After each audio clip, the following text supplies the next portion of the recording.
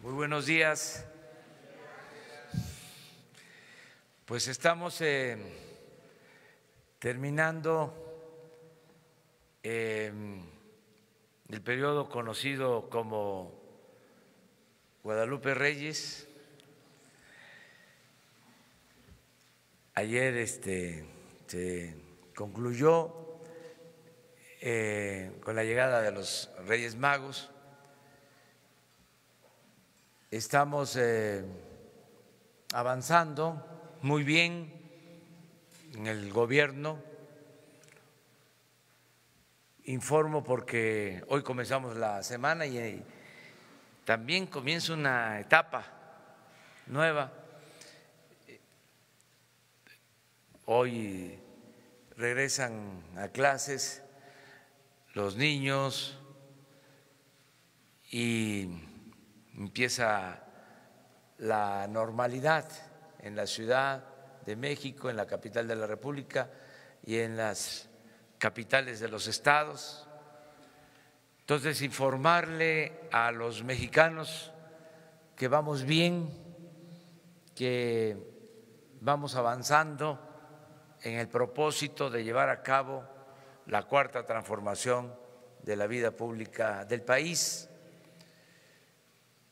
se están iniciando acciones, no hemos eh, perdido tiempo ni hemos eh, enfrentado muchos obstáculos, vamos avanzando, vamos caminando,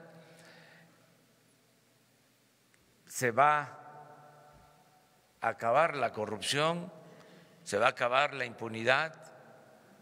Este es un compromiso de fondo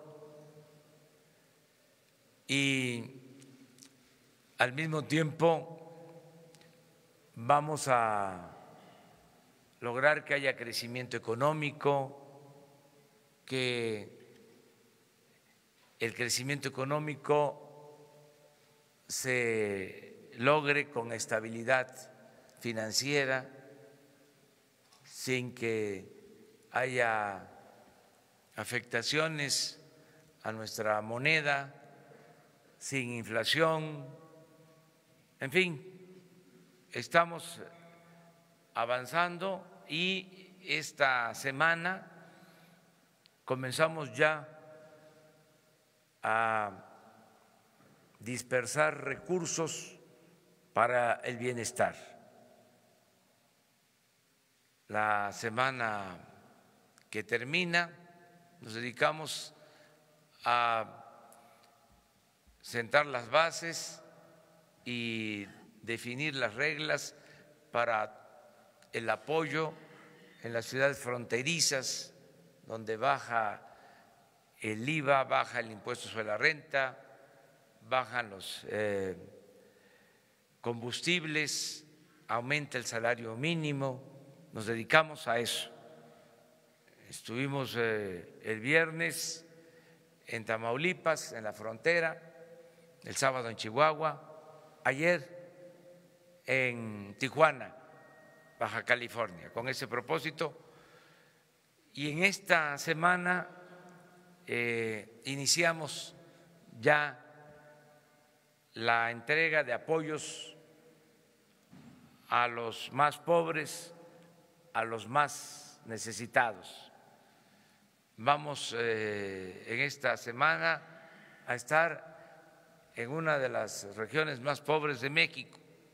Vamos a la montaña de Guerrero, vamos a Tlapa y ahí vamos a comenzar el programa de pensión a personas con discapacidad sobre todo niñas, niños, pobres con discapacidad. Iniciamos el viernes porque vamos a entregar un millón de pensiones a personas con discapacidad. Todos los niños pobres de México, niñas y niños, van a tener una pensión de 1.274 pesos mensuales. Y ahora vamos a comenzar con la dispersión de esos fondos. También vamos eh, a iniciar el programa de apoyo a los adultos mayores, el aumento al doble a la pensión a los adultos mayores este fin de semana. Esos dos programas eh, inician. Bueno, se me estaba pasando que eh, también en esta semana vamos eh, a comenzar con el apoyo a los jóvenes, la contratación de jóvenes que van a trabajar de aprendices, capacitándose para el trabajo. Se va a iniciar también esta semana. En fin, eh, vamos bien y yo espero que así continúe eh, la acción del gobierno. Le agradezco mucho a la gente por su apoyo, por su respaldo, por su confianza.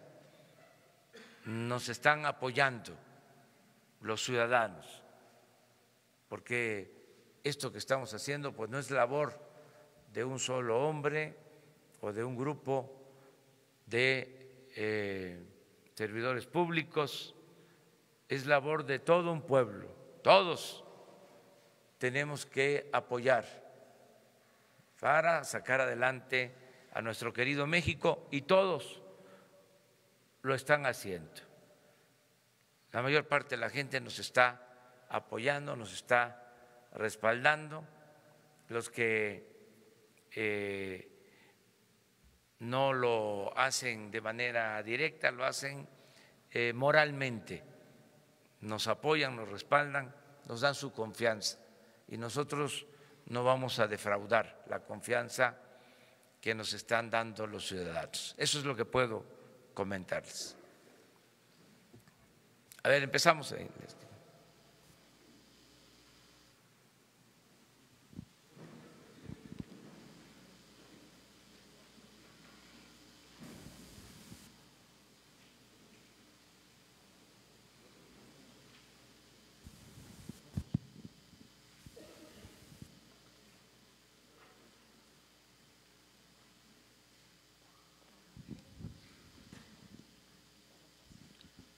Buenos días, presidente. Daniel Blancas de La Crónica. Eh, dos preguntas. Una, eh, ha sido un tema recurrente en los últimos días y de hecho, pues usted lo ha mencionado desde hace tiempo, la preocupación por el tema del huachicoleo. Ha referido que eh, indicios de que esta actividad se desarrollaba al interior de Pemex, redes internas que permitían o favorecían esta actividad. ¿Cómo va esta investigación? Que usted eh, adelantó hace algunas semanas. Hoy se puede garantizar que no hay eh, redes internas en Pemex que estén permitiendo eh, la ordeña de combustible. Esa es una pregunta. Y la segunda, una de sus frases pues recurrentes es al margen de la ley, nada. hemos visto en los últimos días el despliegue ya de la Guardia Nacional en varios estados. ¿No va esto en contrasentido a esa frase, eh, dado que pues aún está pendiente, eh, digamos, el, paso legislativo, o cómo interpreta eh, su gobierno esta disyuntiva? Bueno, acerca de la decisión que tomamos de acabar con el robo de combustible, se ha ido avanzando bien, desde luego hay resistencias, pero las estamos enfrentando. Hay una disminución considerable de eh, robo de combustible. Creo que el paso que se dio fue importante, o el primer paso, que consistió en controlar todo el sistema de monitoreo de ductos. Hubieron cambios en el sistema de monitoreo de ductos, se cerraron válvulas que se abrían y que eh, llevaban a que se ordeñaran los ductos y se eh, robaran los combustibles, gasolinas y diésel. Eso está controlado. No deja de haber todavía robo, pero disminuyó mucho. Ayer comentaba yo que antes de tomar esta decisión, como dos días antes, recibí el informe de robo de más de mil cien pipas. Y ahí terminamos ya de resolver sobre el plan para enfrentar el robo de combustible.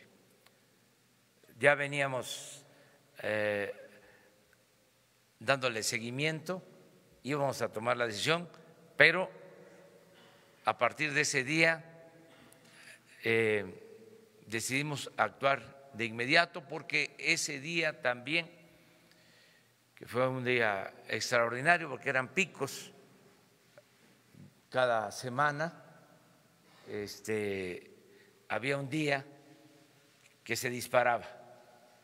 Si ustedes ven la gráfica, van a encontrar que hay algunos días, cada semana, cada diez días, en que pasaba de mil pipas robadas y luego bajaba.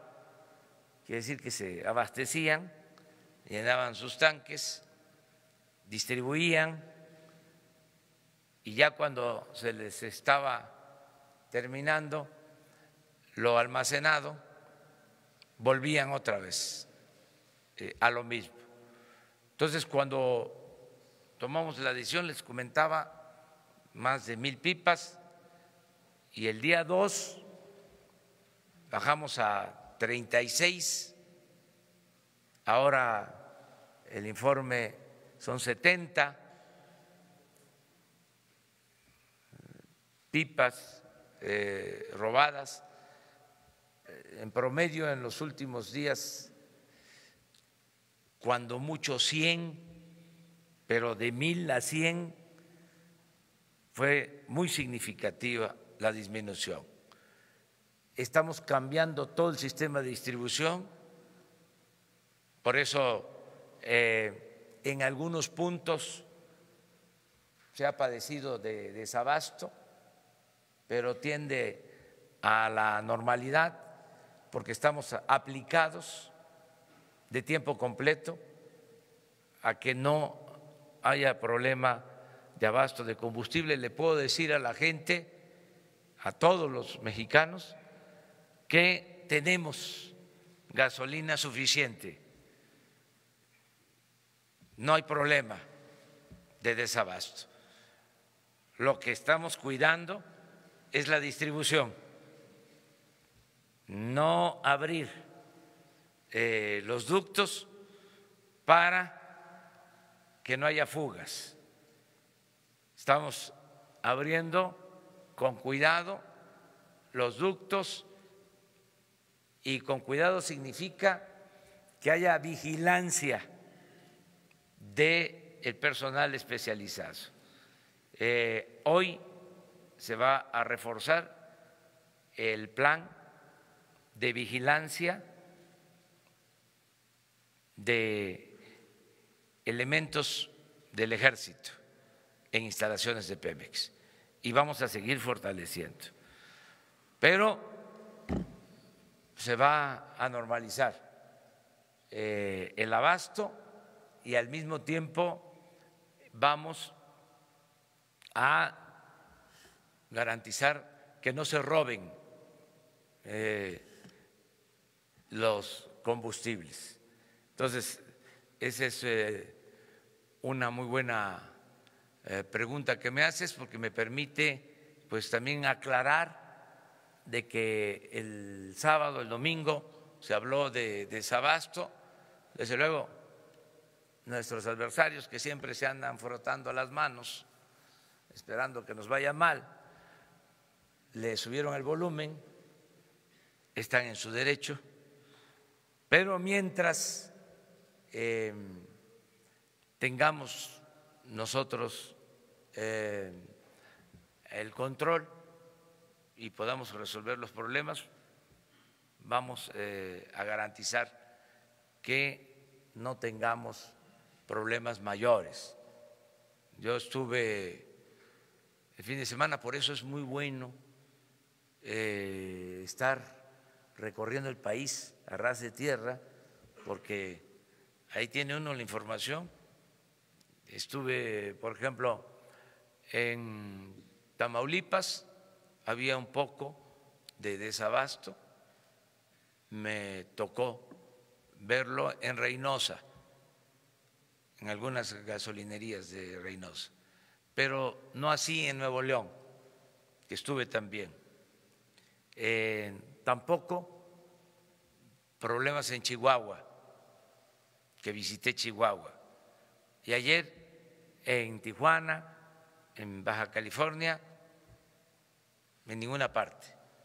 Entonces, eh, sí, hubieron lugares en donde hubo desabasto, pero este, se intervino, se están utilizando pipas em, para que no falte el combustible y la gente nos está ayudando.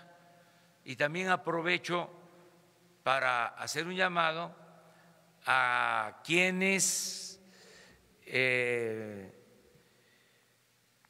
veían esta actividad como una manera de obtener ingresos para la sobrevivencia, porque en los operativos que se están llevando a cabo hay lugares en donde la gente eh, protesta, no todo el pueblo, pero sí hay grupos que protestan cuando hay presencia del gobierno federal para evitar la ordeña de ductos. Entonces, ¿qué les digo a todos los ciudadanos? Que esos ingresos que se obtenían por la vía ilegal, toda esa economía informal, ahora tiene como opción, tiene como alternativa eh, una economía legal, formal, que es el hecho de que puedan inscribirse los jóvenes y tener su trabajo como aprendices. Y que el que quiera poner un pequeño negocio cuenta con crédito barato y que se va a apoyar con becas a todos los estudiantes y de que van a haber opciones de empleo y de bienestar. Entonces, llamo a todo el pueblo para no caer en la ilegalidad. Nunca se justifica un acto ilegal pero menos cuando hay opciones, cuando hay alternativas y cuando se está dando un buen ejemplo desde el gobierno. Porque lo que venía sucediendo es que robaban arriba y entonces daban el mal ejemplo y era común escuchar, si ellos roban, ¿por qué nosotros no? Pues eso ya se terminó. Nadie va a robar. Y esa es una garantía para que todos eh, busquemos que haya un cambio. Acerca de lo que me pregunta de la Guardia Nacional, pues no eh, le llamamos de esa manera, porque todavía no está la reforma a la Constitución, pero sí estamos eh, apoyándonos en la Policía Militar, en la Policía Naval, en la Policía Federal, porque necesitamos garantizar la seguridad de los ciudadanos. Cuando ya ya se reforme la Constitución, entonces sí, vamos a hablar ya de los operativos de la Guardia Nacional.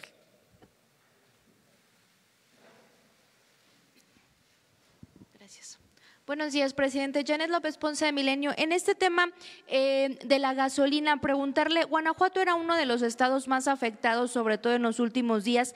El gobernador ayer decía que logró pedirle al director de Pemex que se abriera el ducto, precisamente el principal ducto que, va de Salamanca hacia León, precisamente para poder eh, acabar con este desabasto en las gasolineras o este retraso de abasto en las gasolineras.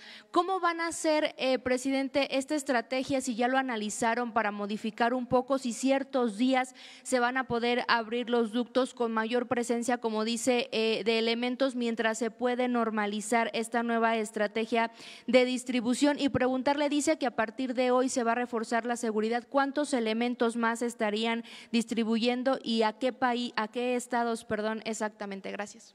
Pues este, eh, vamos a ir eh, regulando todo lo que significa la distribución de las gasolinas.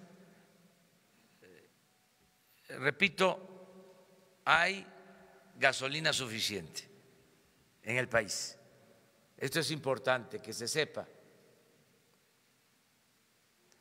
Tenemos reservas suficientes. Es como se distribuye la reserva. Estamos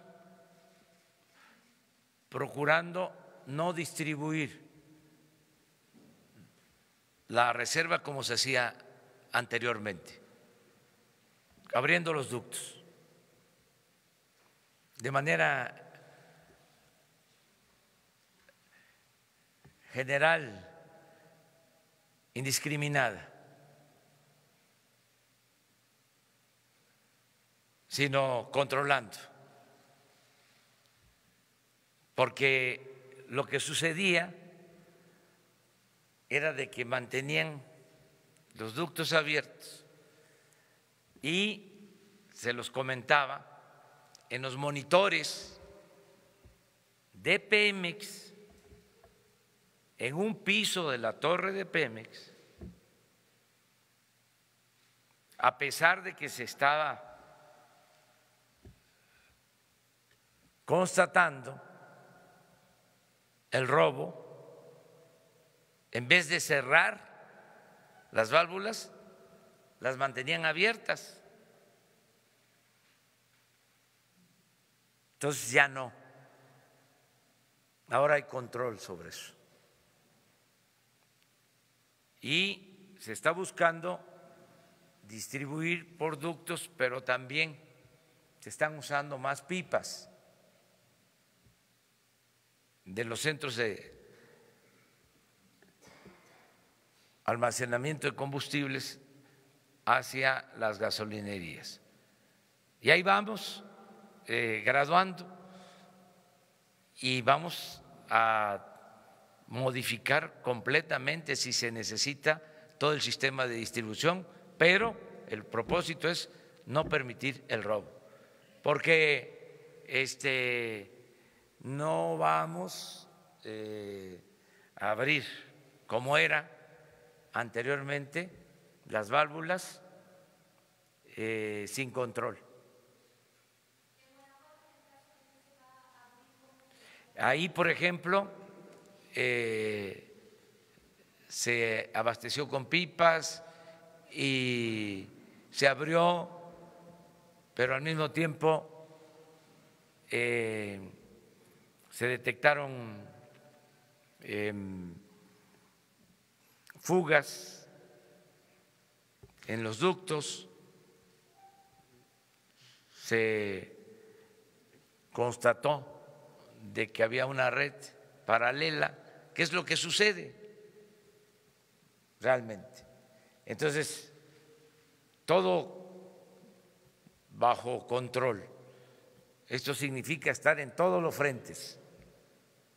Y yo pido el apoyo de los ciudadanos y el apoyo de los medios de información. Porque, ¿qué sucede también? Si se empieza a hablar de desabasto, pues eh, el que va a cargar gasolina, pues se abastece de más. Entonces nos genera una presión, pero eso es pedir eh, mucho a lo mejor a nuestros adversarios de la prensa FIFI, hablando en plata, este, pero en una de esas, ¿no? los conmovemos. Eh, en total para este operativo, cuatro mil. En general, ya lo estamos haciendo. Hoy, en la mañana, entraron 900 elementos a instalaciones de Pemex.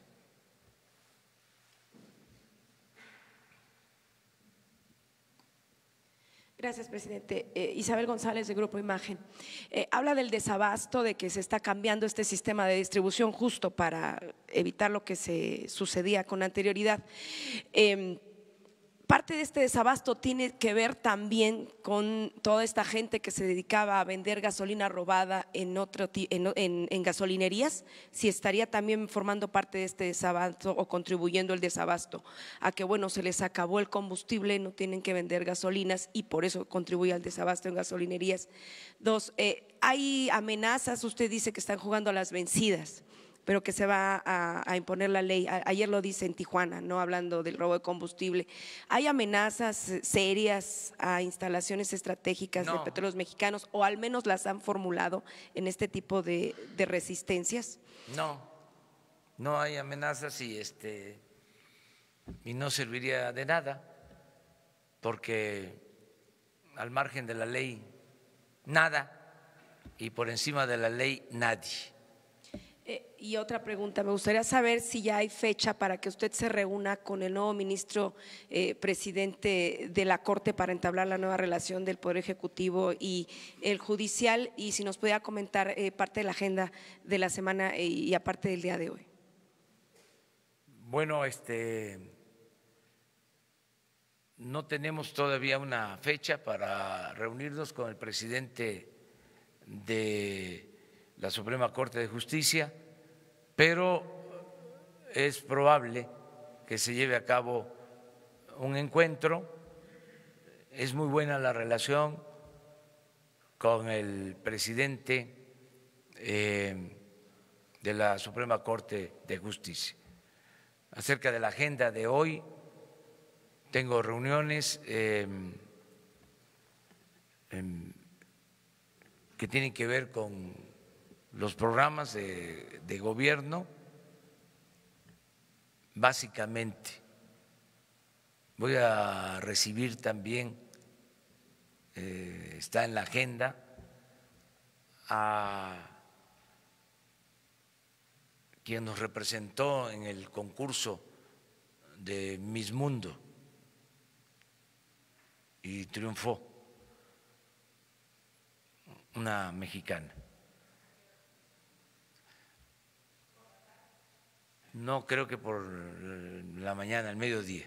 De las cosas que me acuerdo.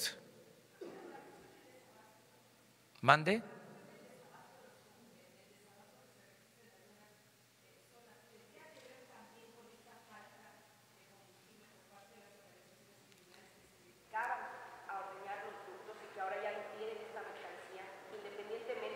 Pues sí, no les falta. Ya les falta porque, este, imagínense cuánto se ha ahorrado. A lo mejor algunos días más hacemos la cuenta de este, cuánto eh, han dejado de distribuir en el mercado negro.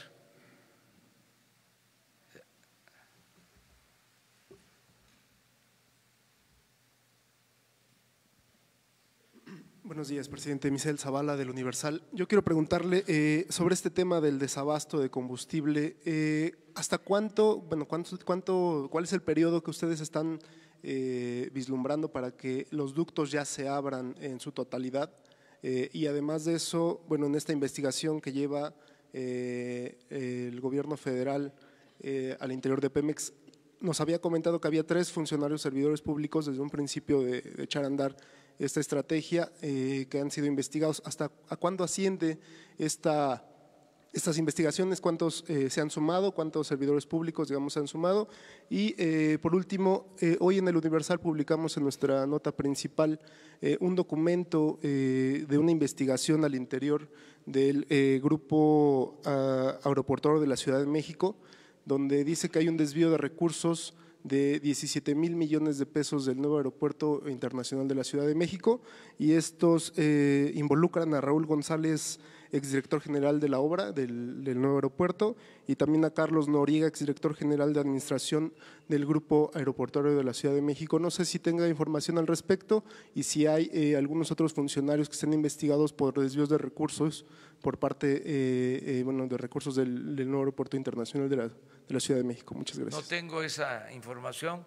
Hoy en la mañana, en el acuerdo de seguridad, se mencionó sobre el tema, pero este, quienes eh, participaron informando sobre este asunto aseguran que no existe este, un expediente, que es una denuncia anónima y que no hay eh, elementos de prueba. Sin embargo, yo les ofrezco que mañana tendríamos más información sobre esta denuncia.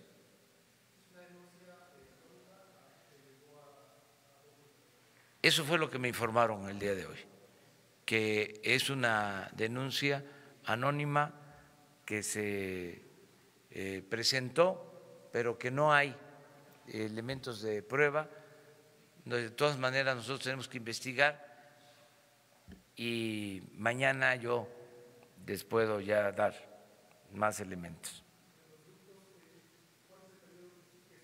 Pues el tiempo que sea necesario, yo este, estoy seguro de que vamos a resolver el problema del desabasto en algunos puntos, porque también este, no es en todo el país, nada más que sí se ha este, magnificado.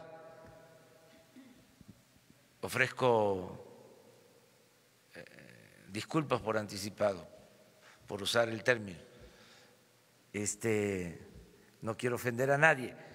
Eh, además, el propósito de los medios de información es dar la noticia, eh, sin medida. la libertad debe ejercerse eh, a plenitud. Es mejor el exceso que el silencio y mucho mejor que la censura. Pero eh, estoy eh, comentándoles que no es un asunto generalizado y que afortunadamente eh, vamos a enfrentarlo y a resolverlo. ¿Cuánto tiempo nos puede llevar? Pues este va a depender a ver quién se cansa primero, los que se roban el combustible o nosotros. Yo nada más les mando a decir de que soy perseverante. ¿eh? Y ya dijimos, se acaba la corrupción y se acaba la corrupción. Y sabemos que no va a ser fácil, pero no vamos a flaquear.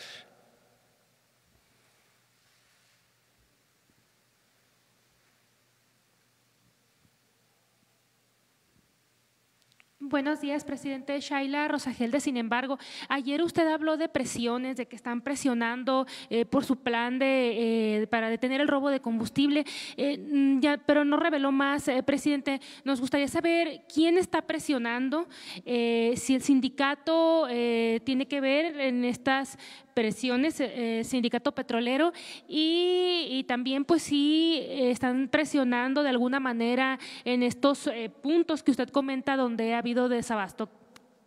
Sí, la presión es porque este, no dejan de, de robar, apenas se llena un ducto, se empaca, así se le llama, ese es el término. Eh, se baja la presión y se detectan fugas este, y siguen presionando en ese sentido de querer seguir robando. Entonces, este,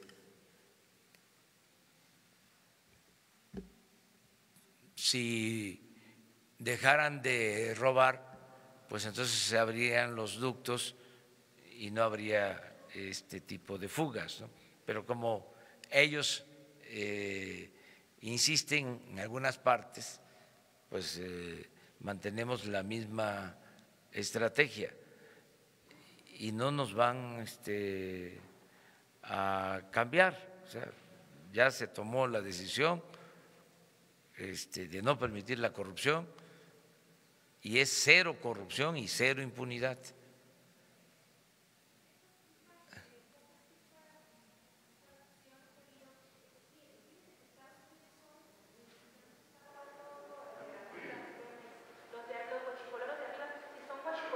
Sí, eh, pero es eh, un eh, sistema paralelo a Pemex de distribución que se creó y lo estamos eliminando. Sea, se permitió a través de los años un sistema de robo de combustible con distribución con venta de combustible eh, a particulares eh, a través de distintos mecanismos, hasta de depósitos eh, cercanos al consumo de combustible. Les hablaba yo de que si se iba a construir una gran obra, ahí se instalaba este, un depósito.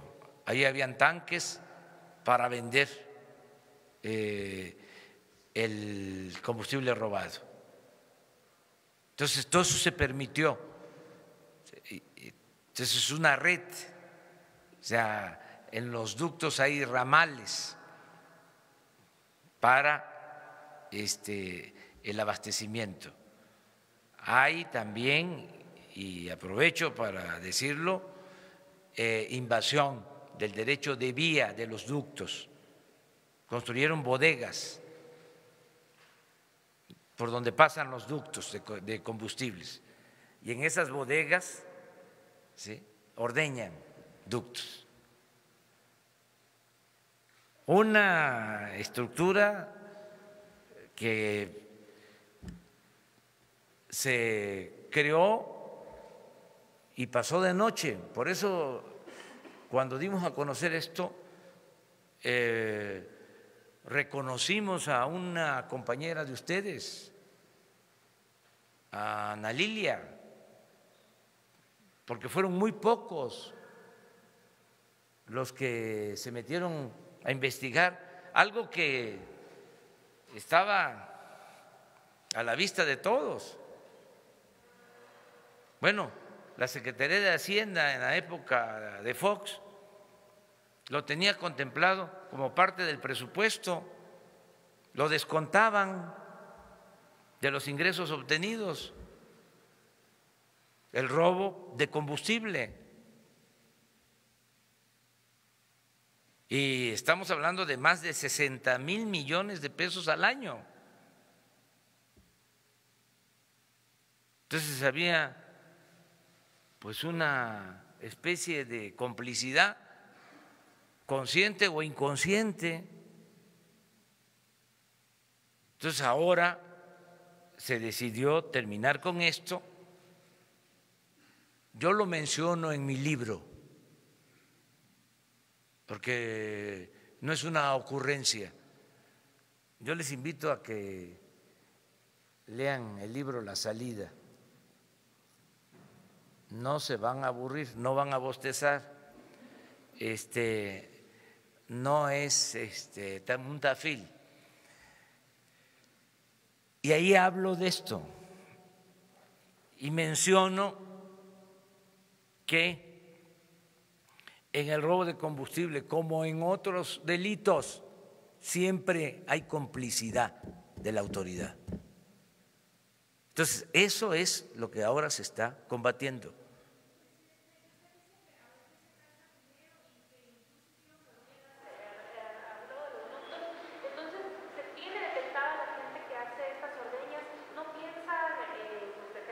Estamos este, terminando de desplegar toda la acción y pues eh, la verdad es que ya se tienen resultados positivos. O sea, tenemos una disminución en el robo como nunca se había logrado.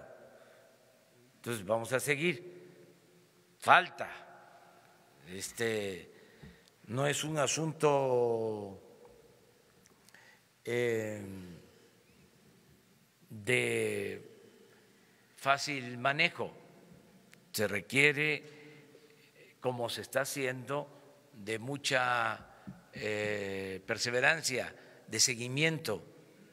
Ayer, por ejemplo, antier, que empezaron ah, con la noticia del desabasto, este, sobre todo en la prensa FIFI,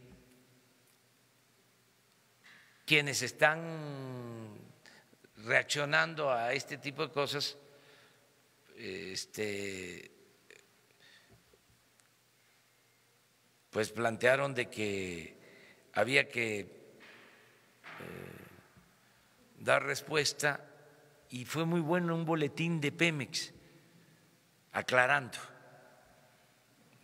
de que se estaba actuando yo estoy informado permanentemente y se está trabajando pues eh, en todos los frentes. ¿Qué significa? Bueno, que todo el equipo está en esto, de día y de noche, todos están trabajando, ¿no? Entonces, ahí vamos, poco a poco, ojalá y los medios, repito, nos ayuden eh, a informarle a la gente de que no es un asunto eh, grave, que se salió de control, que es algo que se está eh, presentando en algunos lugares por los reacomodos en la distribución del combustible y que vamos a, resolverlo lo más pronto posible.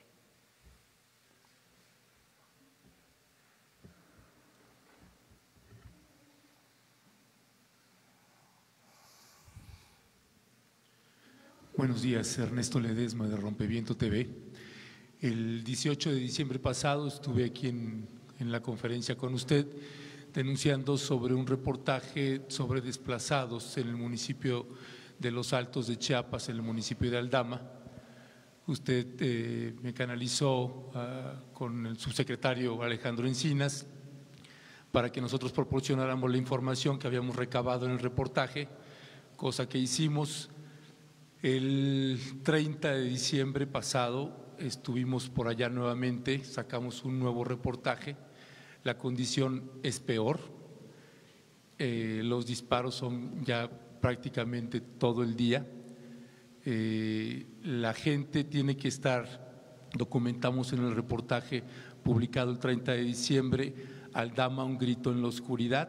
Eh, se publicó audiovisualmente cómo los camiones de abasto tienen que pasar de noche con las luces apagadas para poder llevar abasto a las, toda la cañada, que implican 12 comunidades. El pasado 4 de enero hubo un nuevo herido más y ah, sigue la policía estatal ahí. En el campamento hay una base de operaciones mixtas en la comunidad de Santa Marta, que es de donde provienen los disparos, y pareciera que, que no hay nadie que esté interviniendo por parte de autoridad federal en ese sentido. Eh, el Centro de Hechos Humanos Fray Bartolomé de las Casas emitió otra acción urgente, ha solicitado medidas cautelares desde que estaba el gobierno anterior de Manuel Velasco como con Rutilio Escandón y no hay respuesta sobre ese sentido. ¿Qué hacer por parte de la población civil que están incluso cosechando de noche la poca, el poco café que pueden cosechar? porque no hay condiciones. Aún en el reportaje que sacamos, les están disparando mientras están cosechando en la noche. Eh, tienen una pérdida total prácticamente de sus cosechas, un 90% de pérdida. Si va a haber alguna indemnización por parte de autoridad federal o estatal en ese municipio. Punto dos, los desplazados de Chalchihuitán que estamos hablando de 1.238 personas. El, eh, el secretario, el síndico de Chalchihuitán, que funge como presidente municipal de Chalchihuitán, ordenó la destrucción de cuatro campamentos de desplazados y hay una condición tremenda, tremenda en las condiciones en las que están viviendo actualmente los desplazados. ¿Cuál es la acción concreta, qué acciones concretas va a llevar a cabo su gobierno frente a una desatención del gobierno estatal del estado de Chiapas? Bueno, para informar sobre esto y este, aclarar lo que se está haciendo, va a estar mañana aquí Alejandro Encinas para dar respuesta a lo que estás planteando.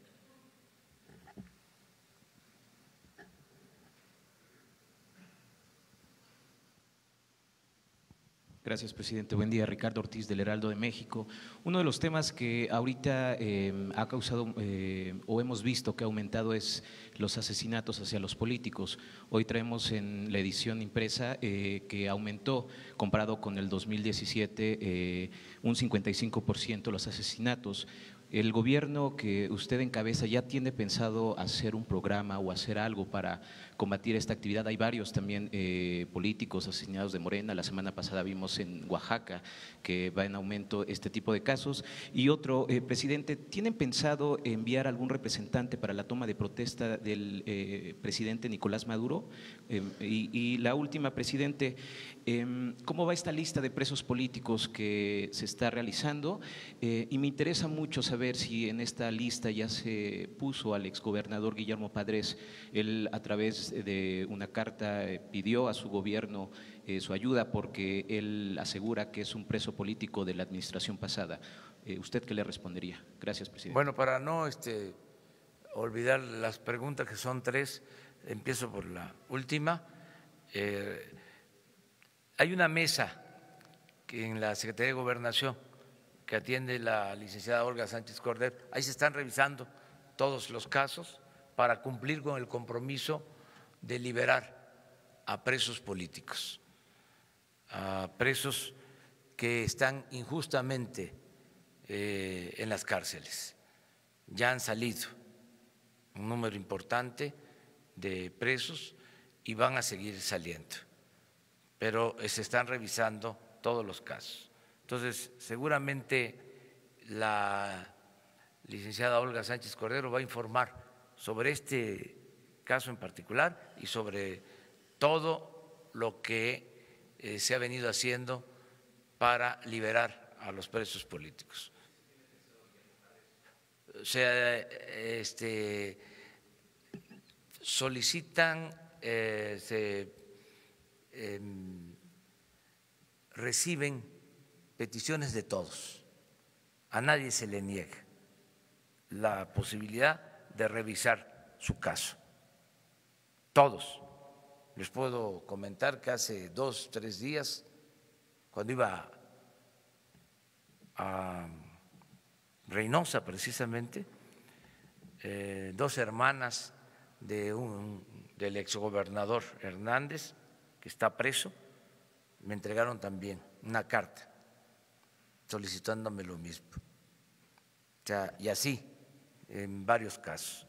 Y nosotros no estamos rechazando a nadie y se está haciendo una revisión, eh, actuando con mucha responsabilidad y buscando que se haga justicia, que este, en efecto se trate de eh, consignas mm, políticas para eh, mantener en la cárcel a mm, personas, muchos que les eh, han dilatado demasiado su sentencia, que este, no les resuelven, aún cuando no hay elementos desde el punto de vista jurídico. O sea, ya se acaba la persecución por consigna como lo hacían antes.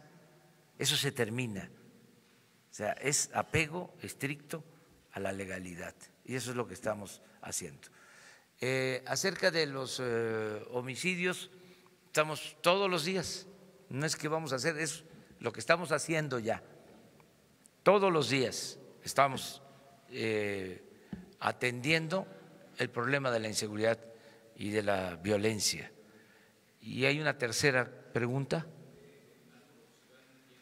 Ah, eh, esto produjo también alguna eh, em, inquietud, cuestionamientos, porque los diplomáticos mexicanos no firmaron una carta de condena al presidente Maduro.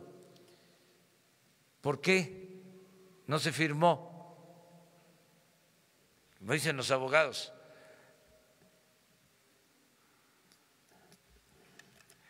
¿Quieren que les lea el artículo?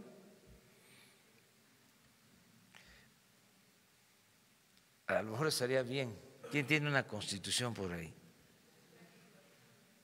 El 89 de la constitución, fracción décima. A ver, ahí ustedes ayúdenme. está entre mis eh, facultades como presidente de la República. ¿Qué dice el 89? Es la décima, creo, si no recuerdo mal. Es como facultad del presidente. Sí. Las facultades y obligaciones del presidente son las siguientes. A ver. Yo te voy a repetir para que no se escuche. A ver, tú me vas. a Las facultades, entre las facultades. Sí. Y celebrar tratados internacionales, así como terminar, denunciar, suspender, modificar, enmendar, retirar reservas y formular declaraciones interpretativas sobre los mismos, sometiéndolos a la aprobación del Senado. En la conducción de, de tal política, el titular del Poder Ejecutivo observará los siguientes principios normativos. La autodeterminación de los pueblos, Ahí la está. no A intervención. ver, a ver, despacio, despacio. Repite. En la conducción de tal política, En la conducción de tal política, se refiere a la política exterior. El titular del Poder Ejecutivo observará los siguientes presidente. principios normativos. La autodeterminación de los pueblos, La autodeterminación de los pueblos, la no intervención, la no intervención, la solución pacífica de controversias, la solución pacífica de las controversias, la proscripción de la amenaza o el uso de la fuerza en las relaciones internacionales. así. Es un principio constitucional. La no intervención y la autodeterminación de los pueblos. A veces se olvida, porque hubo un tiempo en que no se cumplía con esa política. Entonces, ¿qué estamos haciendo? Apegándonos a lo que establece nuestra Constitución. Además, es un principio no solo constitucional, político. En el célebre discurso del presidente Juárez, cuando regresa victorioso, porque se recupera, se restaura la República, se hace mención a la frase, el respeto, dice, entre los pueblos, entre las personas, entre los pueblos, entre las naciones, el respeto al derecho ajeno es la paz. Nosotros no podemos ser candil de la calle y oscuridad de la casa. Yo respeto a quienes llevan a cabo esa política. A lo mejor ellos no tienen problemas en sus es- países y les da tiempo para ocuparse de lo que sucede en otras partes del mundo. Nosotros tenemos mucho trabajo. Para mí, la mejor política exterior es la interior. Si nosotros acabamos con la corrupción en México, si hay trabajo, progreso, bienestar en México, vamos a ser respetados en todo el mundo. Pero eh, esto eh, aplica no solo para este caso de Venezuela. Nosotros fuimos respetuosos en la campaña cuando desde el gobierno se tomó partido en las elecciones de Estados Unidos. Nosotros apostamos a la no intervención. Recientemente hay diferencias en Estados Unidos, hay eh, confrontación política, que es lo más normal en las democracias, y no opinamos de eso, porque no nos corresponde. No podemos estarnos inmiscuyendo, metiéndonos en la vida interna de otro país, porque nosotros no queremos que nadie, ningún gobierno extranjero, intervenga en los asuntos que solo corresponden a los mexicanos. Es un principio de política exterior establecido en la Constitución. Que si se va a enviar este, representantes a Venezuela, eso lo va a resolver la Secretaría de Relaciones Exteriores. Pero estoy muy contento porque volvemos a la tradición de política exterior que siempre nos dio un lugar especial en el mundo. Nosotros actuamos durante mucho tiempo a partir de principios y eso destacó a México. Una de las cosas más reconocidas en el mundo era la política exterior de nuestro país. Entonces, eso se está recobrando y los diplomáticos de la Secretaría de Relaciones Exteriores saben hacer este trabajo y cuentan con mi apoyo, cuentan con mi respaldo, para que también no se piense que fue eh, un eh, servidor público eh, despistado o tuvo que ver con una postura personal de Marcelo Ebrard. Él está aplicando una política exterior que se define en nuestra Constitución.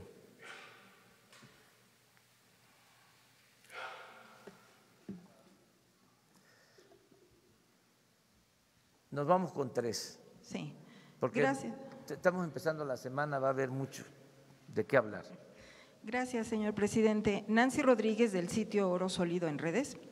En este combate a la corrupción, eh, señor presidente, eh, me gustaría tocarle el tema de los monopolios, de los criminales monopolios, pero como son muchos, este, quisiera nada más concentrarme en uno, eh, que es em, la venta, distribución, comercialización de el huevo y el pollo.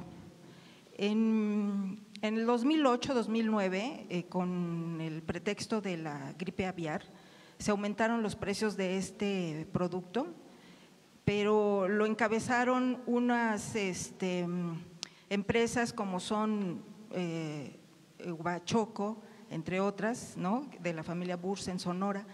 Y desde el 2008-2009, que supuestamente se les señaló, se les este, mm, eh, les dieron unas, eh, ¿cómo se llaman?, por prácticas monopólicas, se les castigó. Hasta la fecha no ha habido ninguna respuesta. El precio de estos productos no bajaron, al contrario. Eh, y bueno, esto también se consideran como cárteles ¿no? dentro, del, dentro del sector. Y no nada más es en, es en estos productos, también es en la carne y algunos otros.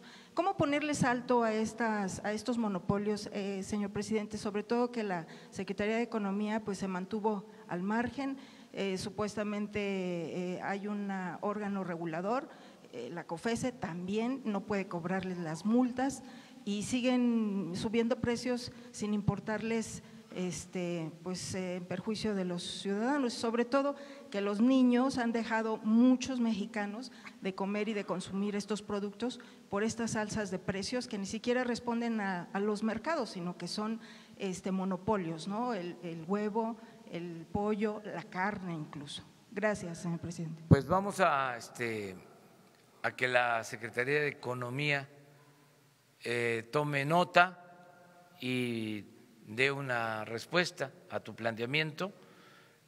Eh, si regresamos a la Constitución, pues están prohibidos los monopolios, las prácticas monopólicas, el artículo 28 de la Constitución.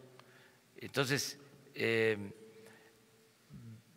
ver qué está sucediendo, eh, desde mi particular punto de vista, lo mejor es la competencia el que se vayan creando condiciones para que cada vez se eh, compita más. Eh, esa es la mejor forma, incluso mejor que la regulación. Eh, es un punto de vista. Entre más competencia, mejor. Entre menos monopolios, mejor. Eso es lo que yo propongo, pero le voy a pedir a la secretaria de Economía que platique con, contigo y que te dé una este, información sobre esto, qué se está haciendo, como lo estás planteando.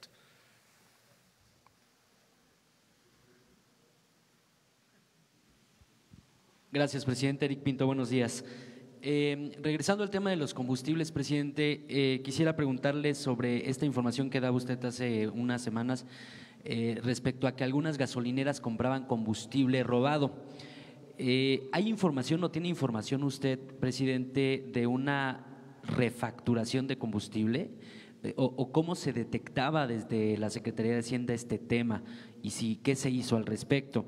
En otro tema, en otra pregunta, este, decirle, este, esta nueva forma de distribución que están haciendo ustedes, eh, la cuestión de los ductos quedarían como una alternativa ya no cotidiana para redistribuir el combustible en todo el territorio nacional? Gracias. Miren, este, eh, hay que tomar en consideración que la forma más barata de transportar los combustibles es a través de los ductos, es más barato. Em,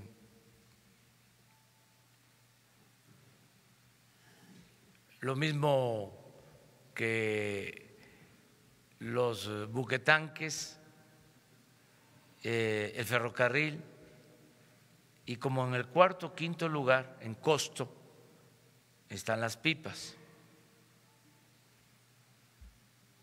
Información general.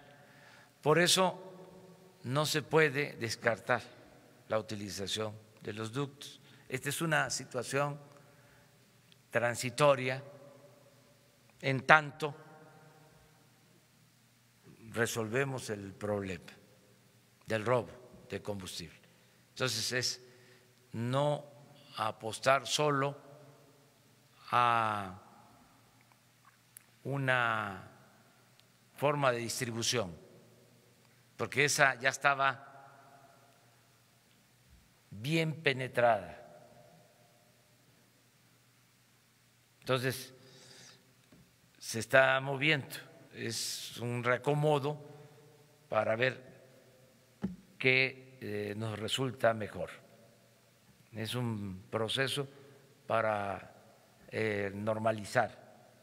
Eso es lo que puedo comentar. Y acerca de las gasolinerías, em, hay una investigación abierta en general y pronto se van a tener elementos. No queremos eh, adelantar nada si no hay fundamentos, si no hay pruebas.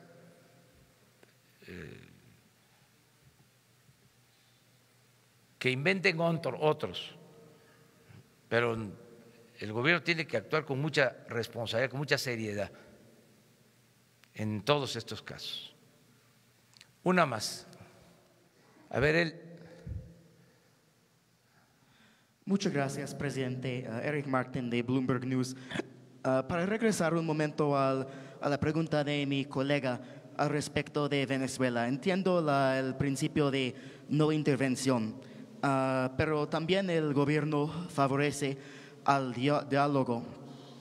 y hemos visto varios diálogos, diálogos mediados a veces por terceros países como México hasta un diálogo ah, con el Papa y ah, con un Congreso ignorado, que es la situación hoy en día en Venezuela, sin elecciones abiertas, protestas violentas y un éxodo de millones de venezolanos, incluso varias, ah, varios miles a México, llegando a México cada año.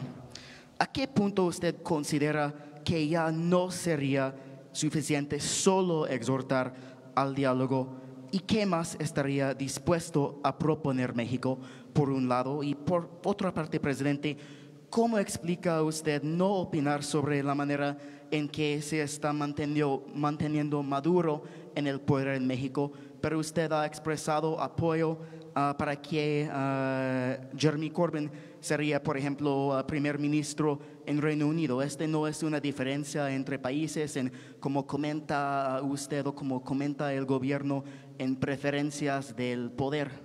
Muchas gracias. Bueno, este, nosotros estamos por el diálogo. Eso sin duda. Incluso es un principio constitucional en política exterior. Mm, la solución pacífica de las controversias. Y a eso se llega con diálogo. En eso participamos, todo lo que sea diálogo. Lo que no podemos es eh, condenar a un gobierno extranjero porque es violar el principio de no intervención, de autodeterminación de los pueblos. Un principio constitucional. Pero diálogo sí, en todo lo que podamos eh, dialogar.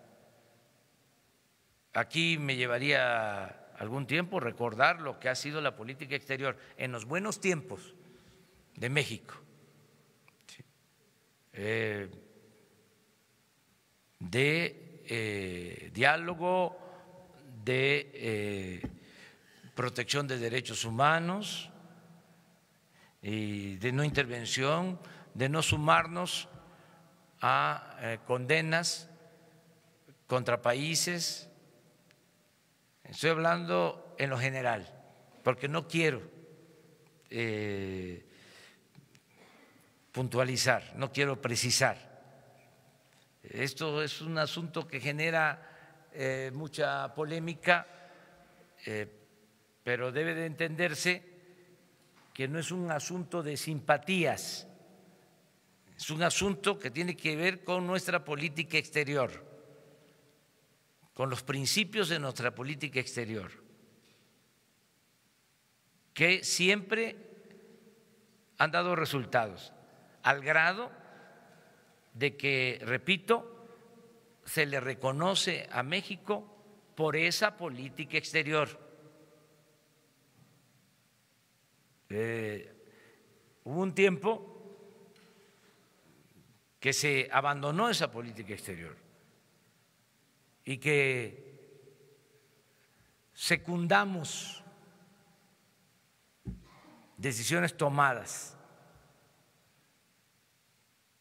en otras latitudes y por otras causas. Nosotros no vamos a actuar así.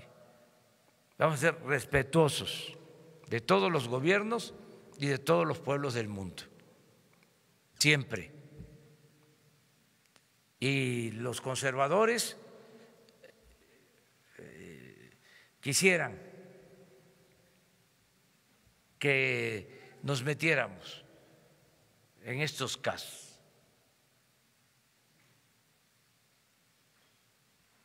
Pero se callan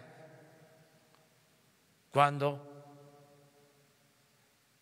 se cometen también atropellos de parte de gobiernos afines al conservadurismo. Entonces nosotros preferimos la neutralidad, no meternos. Y repito, no es un asunto de simpatía, es un asunto que tiene que ver con principios de nuestra política exterior, que los vamos a defender. Y lo de Corbyn lo dije porque somos amigos y además este, eso es otro asunto, no tiene que ver con política exterior. O sea, los ingleses, los eh, ciudadanos del Reino Unido van a decidir en su momento eh, quién debe de, gobernar. Corbyn para mí es uno de los dirigentes eh, mundiales más importantes, como tengo simpatías por otros. Pero este, eh, Miguel Ángel Revilla también, que por cierto les adelanto eh, que nos va a visitar el presidente de España el día 30 de enero, va a estar el presidente de España. A el presidente Maduro lo conocí el día de la toma de protesta, no lo había visto. Yo creo que eh, lo vio más Fox y Calderón, como dato, nada más. Bueno, muchas gracias.